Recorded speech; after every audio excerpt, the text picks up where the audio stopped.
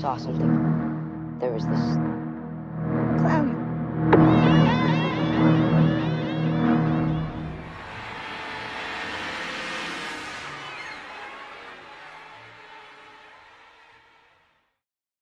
Hi everyone, Bearsick here, and in this video I'm reviewing a clown's daughter from It named Pennynice. One of my recent live broadcasts on my Instagram, I mentioned that I wanted to add a new one-of-a-kind doll to my collection, a clown's daughter from the movie It. My artist friends were watching the broadcast and made my wish a reality ahead of Halloween. Actually, it's a really good tradition. Once for Halloween, I got the daughter of Freddy Krueger, Emily Krueger, and now it is the daughter of Pennywise, Pennynice and I wonder who I will get for the next Halloween. Time will tell. But for now, let's get acquainted with this beauty. Pennywise Clown is the key character of the Stephen King's novel It and the film adaptations, and he is probably the most famous out of all of the evil clowns. Stephen King made the main character of It specifically a clown because he thought that clowns are the kids' biggest phobia. The fear of clowns is scientifically called coulrophobia, and I think it got even more widely spread after the release of the first movie, It. Just based on my personal experience, I know friends, people who, after watching It in childhood,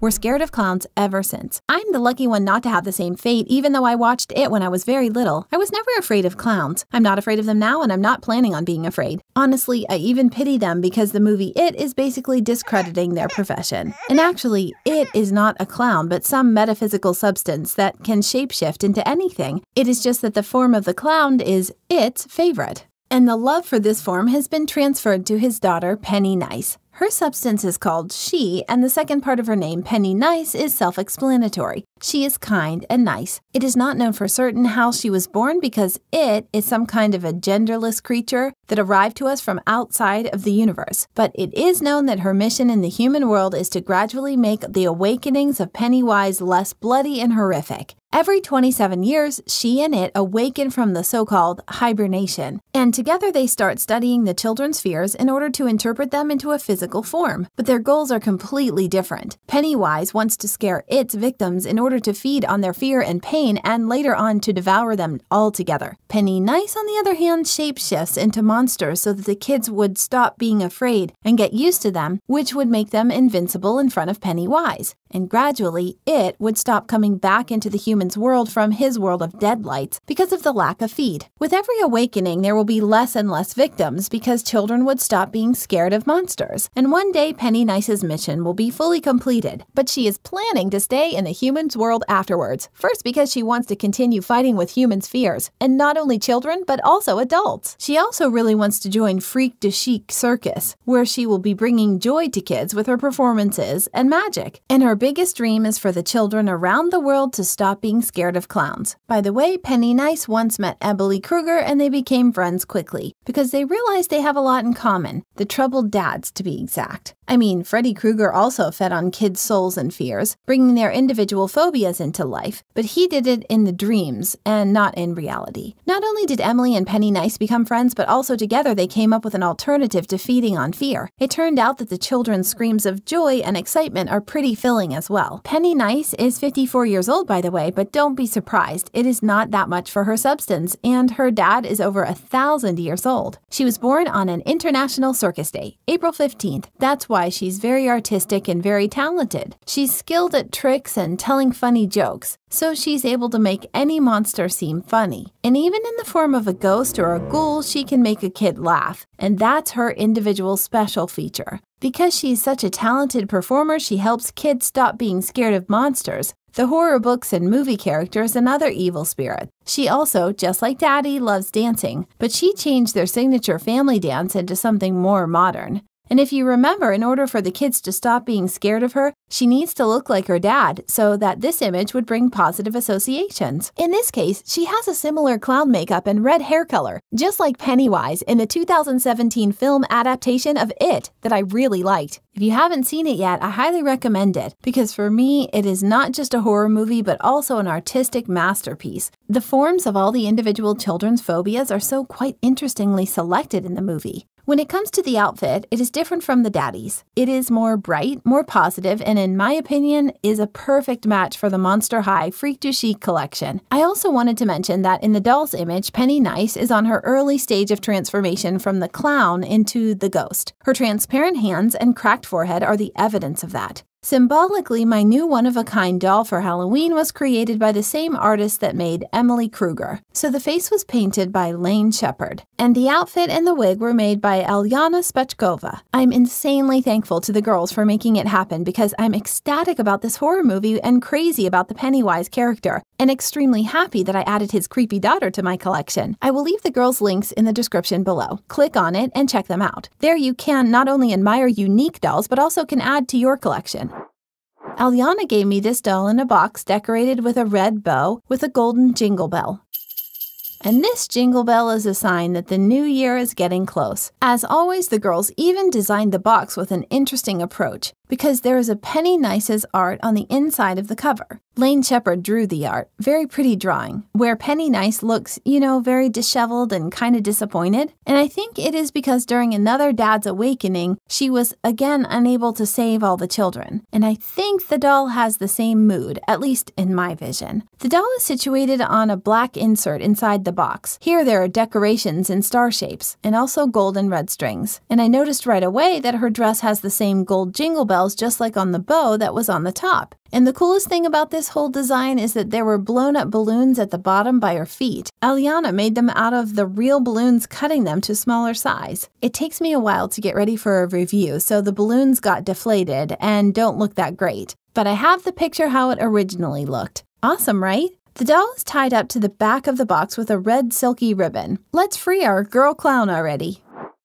I love the sound of the jingle bells, like Jingle bells, jingle bells, jingle all the way. The doll is based on the Spectra from The Picture Day. That's why her hands are transparent. The wig has a silicone cap and is made out of Angora goat fur dyed red. The wig is voluminous, airy, very pleasant to the touch. It reminds me of the hair of Eva Marshmallow a little bit, but there the hair is a pink cloud, and here it is a red one. And by the way, she reminds me of a Russian cartoon character, Antoshka, with her hair and freckles. I think that if she would impersonate Antoshka, she would be definitely able to make Russian kids laugh. She's a redhead wonder and my first redhead one of a kind doll. The doll's face with Pennywise makeup turned out to be not so much creepy, but more worried and even touching. Her big eyes are pierced with kindness, sacrifice, and a burning desire to stop the killings. The makeup was done using pastels, watercolor pencils, clear gel, and of course, a pinch of inspiration and love. Pennynice got her unusual eye color from her daddy. The iris is bright orange with a green outline. On the top, there's a black liner and eyelashes and shimmering golden eyeshadow on the lid. The bottom contour of the eye is reddish, and that's why the eyes look inflamed like she cried a lot. And also next to it, there is another contour with thin lashes, lots of them. The reddish nose tip intensifies the effect of her weepy face, and in this case, such a nose replaces a painted clown nose. There are also freckles on the doll's nose. The main thing about her face, a clown pattern, comes out of her lips and cuts through her face on her cheeks to her forehead crossing the eyebrows. The color of the pattern is red black, and the upper lip is mainly black, which reminds me of dried blood.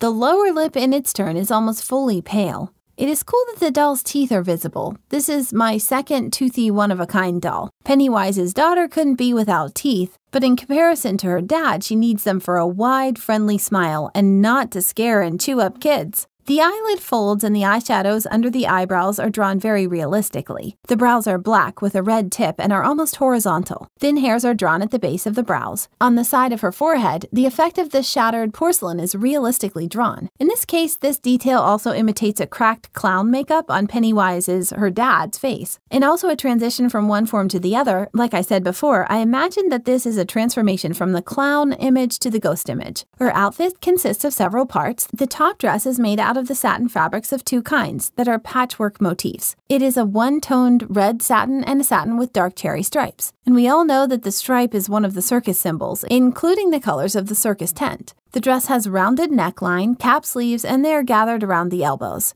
Wide cuffs at the bottom. The bottom of the dress is cut off at the waist and is bell bottom shaped and also has curved edging. It reminds me of a circus tent ruffle or a stage curtain. The bottom of the dress and the neckline is decorated with small bronze beads. Also, there are jingle bells attached to the bottom's corners. They are metal and remind me of jingle bells on the jester's hat or harlequin. The front of the dress is embroidered with golden beads along the seams. On the back, the small red beads imitate the buttons, but the actual closure is a snap. The dress has a golden lining with red accents. The bottom skirt is made out of the gold crocheted lace, and honestly, it looks the richest in the whole image. The skirt is gathered around the waistline, and if you look closer, you can see gold glass beads around the bottom edge. The details are so tiny you can't see them from far away. There was no need to go to this extent of labor, but Alena is not one to take an easy way out, and such details make the doll's image unique. The doll has a clown collar, and around the neck, Pierrot style, of course, it is made out of the cotton lace. It is not as basic as it seems from the first glance. There's a thin silk ribbon in the middle of the collar that turns into ties with crystals on the ends. There's also a crystal along the center of the collar, but you can hardly see it under the lace. And it is a really cool effect because you don't see it, but under a certain angle, something is sparkling in the collar. Under the skirt, the doll is wearing puffy bloomers with the same fabrics combinations as the dress. The bloomers are knee length. They are gathered along the top and the bottom to make them voluminous. They have rubber bands on the top and bottom. The doll is wearing tube socks with black and white stripes. They're a perfect match for her clown and circus image. And finally, the shoes. These shoes were customized from the Draculauras from the Sweet 1600 collection. As you can see now, they are black patent shoes with cute hearts along the center and sides. The shoes are plastic, and in order for the doll to be able to fit in them, Alena got rid of the ankle strap. But I think the shoes will look very good even without the strap. And the coolest thing about them is that the wedge has blood smudges. And I think it is nothing less than the kid's blood who Pennynice was not able to save from her dad this time. Since Pennynice is a positive clown and she brings joy to kids, she has more than just a single sinister red balloon up her sleeve, but the whole bunch of cute balloons from the segment Buy or Buy. I want to thank the girls, Leyn and Alena, for this bright and different doll addition to my collection. All of you know how crazy I am about the Monster High Freak du Chic collection, and I think Pennynice would be a great match for it. Comment which monster kids do you want to get for your collections, and give me suggestions who to pick for the next Halloween. Give thumbs up if you like this review and it was interesting to listen to the biography that I created for the doll. Smile more often and don't be scared of the clowns. Bye bye, everyone.